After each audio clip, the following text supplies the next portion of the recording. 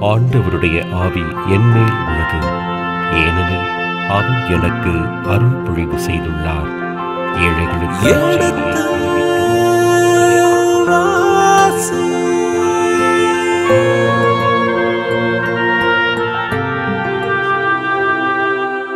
எடுத்து வாசி. பதினாலாவது வசனம். உனக்காக கோபர் மரத்தால் ஒரு பேழை செய். ம். அதில் அறைகள் அமைத்து அதற்கு உள்ளேயும் வெளியேயும். கீழ் பூசு. ம். பேழையை நீ செய்ய வேண்டிய முறையாவது. இப்போ இதில் வந்து பேழையை பற்றி இவர் பேசுகிறார் கடவுளே சொல்லுவதாக எழுதுகிறார். அப்போ இது என்னன்னா ஒன்று இந்த தெபா என்ற ஹீப்ரு வார்த்தையை தான் நோ பேழை என்று சொல்கிறோம். தெபா. எக்ஸோடஸில் இதில் பார்த்தீங்கன்னா நம்ம விடுதலை பயணத்தில் ரெண்டாம் அதிகாரம் முப்பத்தஞ்சில் மூணுலேருந்து அஞ்சு வசனம். ரெண்டாம் அதிகாரத்தில் மோசஸ் என்ற அந்த குழந்தை குழந்தை மோசேயை காப்பாற்றுவதற்கு அவருடைய சகோதரியா அம்மா சகோதரி. பேழையில் வைத்து அனுப்பி விடுகிறார். இல்ல? படிங்க. மூணுல இருந்து அஞ்சு. இதற்கு மேல் அதனை மறைத்து வைக்க இயலாததால் குழந்தையை அதனுக்காக. கோரை புல்லால். பேழை ஒன்று செய்து அதன் மீது நிலக்கீல் கீழ் இவற்றை பூசினாள். குழந்தையை அதனுள் வைத்து நைல் நதிக்கரையிலுள்ள நாளன்களுக்கிடையில் விட்டு வைத்தாள். அதற்கு என்ன ஆகுமோ என்பதை அறிந்து கொள்ள குழந்தையின் சகோதரி தூரத்தில் நின்று கொண்டிருந்தாள். இப்போ இங்க பாருங்க. நோவாவுக்கும் ஒரு பேழை வருகிறது. நோவாவுக்கும் பேழை ஆனால் இந்த மாதிரி சின்ன பேழையில் பெரிய பேழை. அதில் வந்து இதெல்லாம் செய்ய இதெல்லாம் செய்ய அப்படின்னு சொல்லி கடவுளையே கட்டளையிட்டு கடவுளே இந்த கட்டளையிட்டு செய்ய சொல்வதன் காரணமே நோவாவை கடவுள் காப்பாற்றுகிறார். அதே மாதிரி மோசஸை காப்பாற்றுவதற்கு கடவுள் அவருடைய சகோதரியை பயன்படுத்தி அந்த பேழையில் வழியாக மோசஸை இதில் பார்த்தீங்கன்னா ஒரு வகையில் பார்த்தா விடுதலை பயணத்தில் பார்க்கும்போது மோசே ஒரு புதிய நோவா. புதிய நோவா. எப்படி நோவா வழியாக புத்துலகம் புதிய உலகம் உருவாக்கப்பட போகிறதோ கடவுளால் உருவாகப் போகிறதோ உருவாக்கப்பட அதே மாதிரி இந்த குழந்தை மோசஸ் காப்பாற்றப்பட்டு புதிய இஸ்ராயல் உருவாக்கப்படுகிறது என்று நம்ம பார்க்கணும். இந்த பின்னணியில் அவர் வந்து இதை செய் அதை செய் என்றுலாம் சொல்கிறார் இப்படி செய் அப்படி செய். இது ஒரு நீள அளவு கொடுப்பதாக. இது ஒரு உருவகம். இந்த பதினஞ்சு வசனம் பதினஞ்சாவது பதிமூ பதினாலு இல்லை சொல்கிறாரு பாஞ்சு பதினாறு ஒரு ஒரு உருவகம். பதினஞ்சு பதினாறு. இந்த இத்தனை நீளம் இருக்கணும் இத்தனை அகலம் இருக்கணும் இப்படி இருக்கணும் அப்படின்னு. பேசிக்கலாக அடிப்படையில் வந்து இது கடவுளுடைய ஒரு அக்கறையை காட்டுகிறது. கன்சர்ன் காட்டுகிறது. அவருடைய பராமரிப்பையும் காட்டுகிறது. ஸோ ப்ராவிடன்ஸ் அண்ட் ப்ரொட்டெக்ஷன் அதை இந்த ஒரு உருவகத்தில் சொல்கிறாரே தவிர இது கடவுளே இப்படி செய்ய சொன்னார் இப்படி செய்ய சொன்னார் அப்படின்றதெல்லாம் வந்து கடவுள் மேலே மனித பார்வையில் கடவுளை பார்த்து. ஒரு எப்படி வந்து ஒரு களிமண்ணாய் மனிதரை கையால் உருவாக்கி என்று சொல்கிறாரோ அதே மாதிரி ஒரு அங்கே குயவராக இருந்த கடவுள் இங்க வந்து ஒரு தச்சு தச்சு தொழில் செய்பவராக நம் கடவுளை அவர்கள் பார்த்தார்கள். அந்த யாவே மரபு ஆசிரியர் இந்த இடத்துல பார்க்குறார். அப்படின்னு நம்ம புரிஞ்சுக்கணும் இதை. இந்த பின்னணியில் தான் பதினேழாவது வசனம். வாசிங்க. நானும் வானுலகின் கீழ் உயிருள்ள எல்லாவற்றையும் அழிப்பதற்காக மண்ணுலகின் மேல் வெள்ளப்பெருக்கு வரச் செய்வேன். வெள்ளப்பெருக்கு வரச் செய்வேன். மண்ணுலகில் உள்ளவையெல்லாம் மடிந்து போம். மடிந்து போம் என்று. இப்போ வெள்ளப்பெருக்கு. அப்படின்னு வருது வெள்ளப்பெருக்கு. மாபூல் அப்படின்றது தான் எப்ரே வார்த்தை மாபூல் அப்படின்றது. அப்படின்னு நீங்கள் வந்து திருப்பாடல் இருபத்தொம்போது பத்தில் இந்த வார்த்தையை பயன்படுத்துகிறார் திருப்பாடல் ஆசிரியர் இருபத்தொம்போது பத்து. வா எடுங்க இருபத்தொம்போது பத்து. அது வாசிங்க. ஆண்டவர். வெள்ளப்பெருக்கின் மீது விற்றிருக்கின்றார். அப்படின்னா என்ன வெள்ளப்பெருக்கின் மீது விற்றிருக்கிறான்னா அத்தகைய அத்தகைய ஆற்றல் உள்ள கடவுள் அப்படின்னு அர்த்தம். அது வெள்ளப்பெருக்குன்றது நம்ம சொல்கிறோம் ஃப்ளட்டுன்னு சொல்கிறோம் அதே தான் மாபுள்ன்றது ஒரு மிகப்பெரிய ஒரு அளவில். இது வந்து மனித சக்திக்கு அப்பாற்பட்டது. மனித சக்தியால் அடக்க முடியாதது. மனிதருடைய திட்டத்திற்கு மாறானது. இது மனுடைய எண்ணங்களுக்கும் திட்டத்திற்கும் வித்தியாசமானது. என்று நம்ம ஒரு மனிதர்களே வெள்ளப்பெருக்கை உண்டாக்குவாங்க அப்படின்னு சொல்கிறது முடியாது. வெள்ளப்பெருக்கு. ஏதாவது ஒரு ஏரி இருக்கும் அதை உடச்சி விட்டா வெள்ளம் வருதுன்னா அதுக்கு மெட்ராஸுக்குள்ளே வந்தது. அது அப்புறம் கொஞ்ச நாளில் அது வடிஞ்சு போகுது அது வேறு. ஆனால் இது அது வெள்ளப்பெருக்குன்னு சொல்கிறதை விட உடஞ்சி போன தண்ணி வருது. ஆனால் வெள்ளப்பெருக்கு என்பது அது கடவுளுடைய செயல். கடவுளுடைய ஆற்றலை குறிக்கின்ற ஒரு ஒரு வகையில் பார்த்தா அழிவு சக்தி கடவுளால் வரப்போகிற வருகின்ற ஒரு அழிவு சக்தி என்று நம்ம பார்க்கணும். இந்த பின்னணியில் பதினெட்டு வாசிங்க.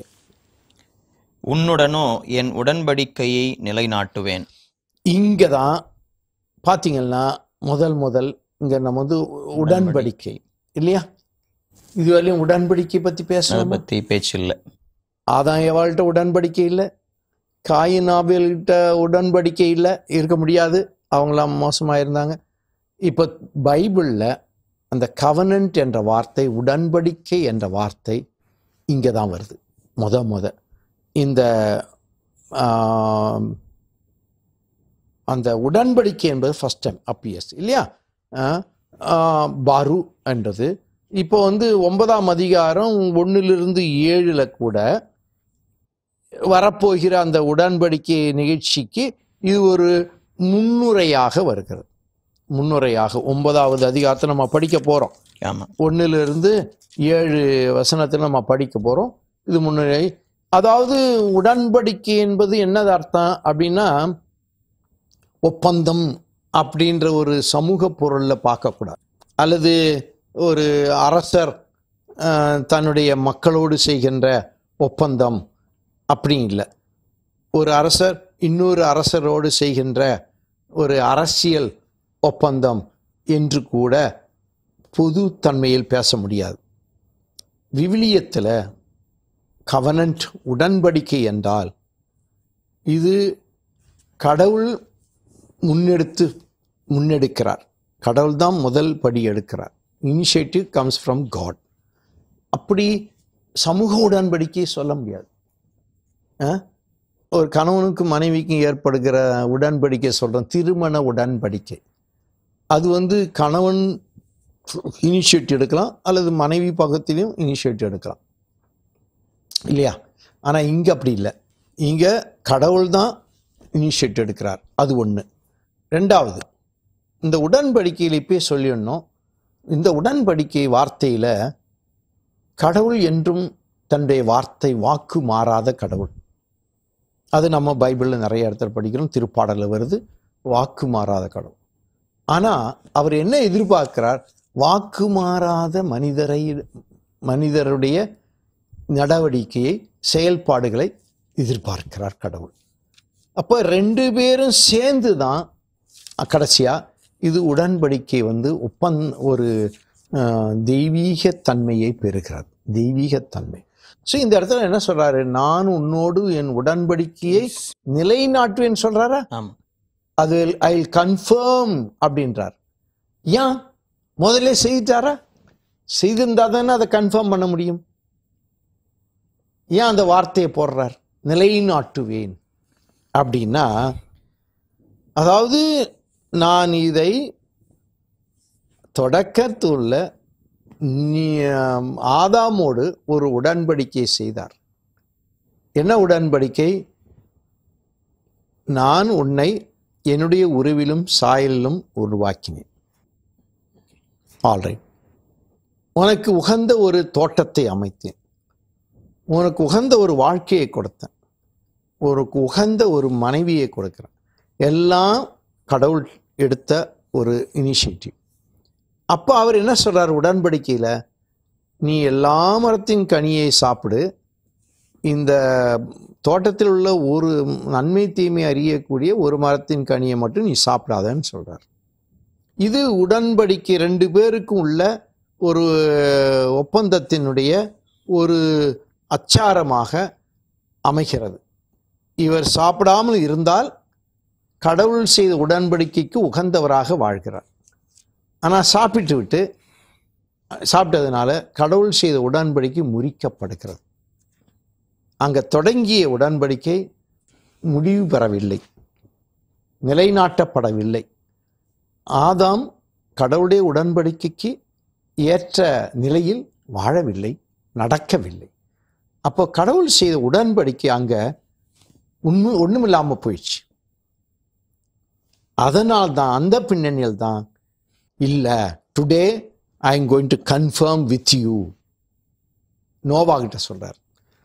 I will make a covenant Covenant. With you எப்படி? I will confirm the covenant நான் நிலைநாட்டுவேன் அப்படின்றார். அந்த வார்த்தை ரொம்ப முக்கியமானது. நிலைநாட்டுவேன். என்னாக்க நான் உறுதிப்படுத்துவேன் மட்டுமல்ல. உறுதிப்படுத்துவேன் மட்டுமல்ல. இது நடைபெற வைப்பேன்.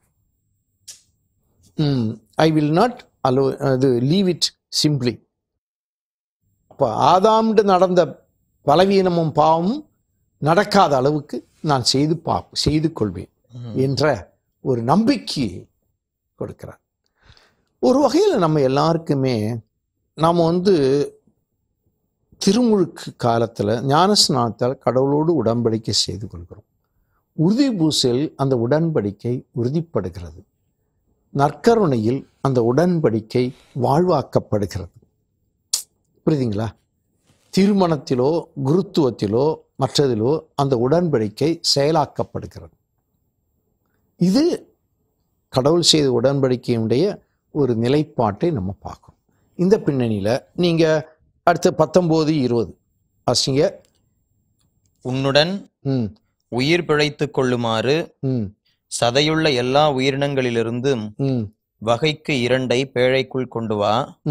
அவை ஆணும் பெண்ணுமாக இருக்கட்டும். இங்க பாருங்க. வகைக்கு எத்தனை சொல்றாரு? ரெண்டு. ரெண்டு. இல்லையா? ஆனா இதே நீங்க ஏழாம் அதிகாரம் ரெண்டு மூணு வசனத்துல வாசிங்க. தக்க விலங்குகள் எல்லாவற்றிலும் இருந்தும் ஆணும் பெண்ணுமாக ஏழு சோடிகளையும் அப்போ நாம நிறைய பேர் கேள்வி கேட்பாங்க. என்ன ஆறாம் அதிகாரம் இந்த பத்தொன்பதாவது. வசனத்துல ரெண்டுன்னு சொல்லி இருக்கு ஏழாம் அதிகாரம். ரெண்டு மூணு வசனத்தை வந்து ஏழு ஜோடின்னு இருக்கு. இந்த எழுதினவர் தப்பு பண்ணிட்டாரா? அல்லது கடவுளே மாத்தி சொல்றாரா? எப்படி நினைக்கிறீங்க? ஏன் உங்களுக்கு ஏதாவது படுதா? ஏதாவது மனசுல? ஏழு ஜோடின்னு சொல்லும்போது அது ஒரு நிறைவை காட்டுற மாதிரி. எண் எண் ஏழு நீங்க சரி. ஏற்கனவே சொல்லியிருக்கிறீங்க. சரி. அது மட்டும் இல்லை. அதாவது உண்மைதான் ஆனால் வேற மாதிரி புரிஞ்சுக்கணும் இதை. இந்த ஆறாம் அதிகாரம் இந்த பகுதியை எழுதுறது யாவே மரபு ஆசிரியர்கள். யாவே மரபுல வந்ததை இவர் தொகுத்து எழுதுகிறார். எப்படி ஒன்றாவது ரெண்டாவது அதிகாரத்தில் எழுதுனாங்களோ ஒன்று இல்லை ரெண்டு. ரெண்டு அதே மாதிரி இந்த ஆறாம் அதிகாரத்தில் யாவே மரபு ஆஸ் அவர்களுக்கு ரெண்டு சோடின்னு அவர்களுடைய மரபுல இருக்கு. இந்த மாதிரி ஒரு செய்தி. அது ரெண்டுன்னு ஏற்றார். ஆனா ஏழாம் அதிகாரம் போது குருக்கள் மரபு. மரபு. அவங்க எனக்கு எதுக்கு முக்கியத்துவம் கொடுக்குறாங்கன்னா ரெண்டுக்கு பதிலாக ஏழுக்கு முக்கியத்துவம் கொடுக்குறாங்க. இந்த மரபுகளை தொகுத்து எழுதுகின்ற திருநூல் ஆசிரியர்கள் ஆசிரியர் இதை வந்து ரெண்டு மரபையும் சு- மாறாமல் ஒருங்கிணைக்காமல் இங்கேயும் அங்கேயும் அதை பொருத்தி எழுதுகிறார்கள். இதில் வந்து எத்தனை ஜோடி என்று எண்ணிக்கை என்பது முக்கியமல்ல. அல்ல எண்ணிக்கை என்பது முக்கியமல்ல. ஆனால் உயிரினங்களை நோவாவோடு எடுத்து சென்றார்கள். எடுத்து செல்ல வைத்தார் கடவுள் என்பது பொதுவாக நம்ம நினைக்க வேண்டுமே தவிர ரெண்டுனா என்ன அர்த்தம் இல்லை ஏழுனா என்ன அர்த்தம்னு நம்ம வந்து இதை நம்ம வந்து ஒரு உருவகத்தன்மையில் தான் பார்க்கணும். நம்ம எப்படி தெளி திருவெளிப்பாட்டில் நம்ம பேசினோமோ அதே மாதிரி தான் இங்கேயும். இதை வந்து ஒரு மெட்டீரியல் பருப்பொருள் திங்கிங் எண்ணிக்கை அளவில் பேசக்கூடாது. இதை வந்து அடையாள அளவில் பேச. அடையாள அளவில். சரி அப்படி பின்னி பார்க்கும் பொழுது இருபது பத்தொம்போது பார்த்தீங்க இல்லையா. இருபது வாசிங்க. வகை வகையான பறவைகள் கால்நடைகள் நிலத்தில் ஊர்வன ஆகியவற்றிலிருந்து வகைக்கு இரண்டு உயிர் பிழைத்துக் கொள்ள உன்னிடம் வரட்டும். இது அந்த மாதிரி சொல்லிட்டேன் வகைக்கு இரண்டு எல்லாத்துலேயும் செய்ய அடுத்தது. உண்பதற்கான எல்லா வகை உணவுப் பொருள்களையும் நீ எடுத்துச் சென்று சேர்த்து வைத்துக்கொள். உண்பதற்கான அப்படின்னு சொல்றார். சேர்த்து வைத்துக்கொள். அப்போ முதல்ல யார் யார் முதல்ல சேர்த்து வைக்கணும் யார் யார் உள்ளே போகணும் உங்கள் பிள்ளைகள்லாம் போகிறாங்க அடுத்தது பிள்ளைகளுடைய மனைவிகள் எல்லாம் போகிறாங்க பிள்ளைகள் எல்லாம் அடுத்து நோவாவினுடைய நோவாவோடு இருந்த விலங்கினங்கள் தாவரங் தாவரம் சொல்ல விலங்கினர்கள் மட்டும்தான் பறவைகள் சொல்றார். அதுக்கடுத்து யாரை சொல்றாரு? ஆஹ் உணவுப் பொருட்கள்ன்றார். இது ஒரு உருவகம் உருவகம். ஆனால் அங்கே பார்த்தீங்கன்னா ஆடம்பரமான நகைகள் இதெல்லாமே எடுத்து போகிறதாக கில்காமிஷ். பீக்கில் வரும். இதில் அப்படி இல்லை. அடுத்தது என்ன சொல்றார்? அவை உனக்கும் அவற்றிற்கும் உணவாகட்டும். கடவுள் தமக்கு கட்டளையிட்டபடியே நோவா எல்லாவற்றையும் செய்து முடித்தார். இப்போ இந்த இடத்துல நம்ம என்ன பார்க்குறோம்? கடவுள் கட்ட இந்த இடத்துல தான் மட்டும்தான் நோவாவினுடைய மனநிலையை படம் பிடித்து காட்டுகிறார். இதுவரையிலும் நோவா பேசவே இல்லை. இன்னும் பேசல. ஆனாலும் அவருடைய மனநிலையை காட்டுறார். என்ன நடந்த? நோவா கடவுள் கட்டளையிட்டபடியே கீழ்ப்படிந்து அந்த வார்த்தையை பயன்படுத்துறார் கீழ்ப்படிந்து. ஏன்னா நேர்மையா நேர்மைத்தன்மைக்கு அடையாளம் கடவுளுக்கு கீழ்ப்படிதல். அது நம்ம ரொம்ப முக்கியமானது. அதனால்தான் யோசேப்பு நேர்மையாளர் என்று இருந்ததுனால கடவுள் சொன்ன அனைத்துக்கும் அது பெரிய சவாலாக இருந்தாலும் ரெண்டு பெரிய கட்டளை. என்ன கட்டளை? உன் மனைவி மரியாவை ஏற்றுக்கொள்ள நீ அஞ்ச வேண்டாம். முழு திருமணம் ஆகவில்லை இருந்தாலும் இந்த மரியாவை உன் மனைவியாக நீ ஏற்றுக்கொள். இரண்டாவது இயேசுவினுடைய இந்த இயேசு என்பவர் நேரடியாக உனக்கு பிறந்த குழந்தையாக இல்லை என்றாலும் இயேசுவுக்கு நீர் தந்தையாக என்ற தந்தை என்ற இடத்தில் இருந்து பெயர் வை என்று. இது சவால்கள் நிறைந்த ஒரு கட்டளை. ஆனால் கீழ்ப்படிக்கிறார் யோசிப்பு கீழ்ப்படிவதனுடைய காரணமே நேர்மையாளர் என்று நம்ம பார்க்குறோம். ஸோ இந்த யோசிப்பை பற்றி இப்போ திருத்தந்தை ஒரு பெரிய ஒரு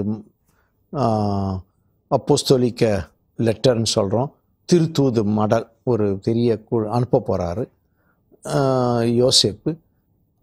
அதில் நம்ம இங் இதுலேயே நம்ம பார்க்க பைபிளுடைய படி பார்க்கும்போதும் நோவாவை நம்ம வந்து பார்த்தாக்க நேர்மையாளர் கீழ்ப்படிந்தார். அதே மாதிரி யோசேப்பு நேர்மையாளர் கீழ்ப்படிந்தார். ஒரு வகையில் நான் நம்ம எப்படி மோசஸை புதிய நோவாவாக பார்த்தோமோ அதே மாதிரி யோசேப்பை யோசேப் ஜூ சூசேப்பர் சூசேப்பர் வந்து புதிய நோவா. அந்த கேரக்டர் நோவாவை இவர் எப்படி படம் பிடித்து காட்டுகிறார் தொடக்க நூல் ஆசிரியர் அந்த கேரக்டர் அந்த அந்த கதாபாத்திரத்தை வாழ்ந்தவர் யாரு? முழுமையா வாழ்ந்தவர் யோசேப்பு யோசிப். கீழ்ப்படிந்தார். சவால்கள் நிறைந்தது. அதே தான் இவருக்கும் சவால்கள் நிறைந்தது என்ன? த உலகத்தை அழிக்கப்போ நான் எல்லாம் எடுத்து இதெல்லாம் செய் அதை செய் இதை பார்த்துக்க இதை உள்ளவை எல்லாம் செய்து இவருக்கு எப்போ மழை வரும் எப்போ வெள்ளம் வரும். எப்போ வடியும் எதுவும் தெரியாது. தெரியாது. கேள்வி கேட்கல. எவ்வளவு நாளைக்கு இருக்கும்? யார் எப்படி நம்ம வந்து திரும்ப வா எங்கே வரப்போகிறோம் வரப்போ நத்திங் தெர் இஸ் ஸோ இதுதான் நோபா. ரொம்ப அருமையாக நம்ம பார்க்குறோம் இந்த நேர்மையாளர் நோவாவை இதுவரையிலும் ஆறாம் அதிகாரத்தில் நம்ம பார்த்துருக்குறோம். இதனுடைய தொடர்ச்சியை நாம் அடுத்த பகுதியிலே மீண்டும் தெரிந்து கொள்வோம்.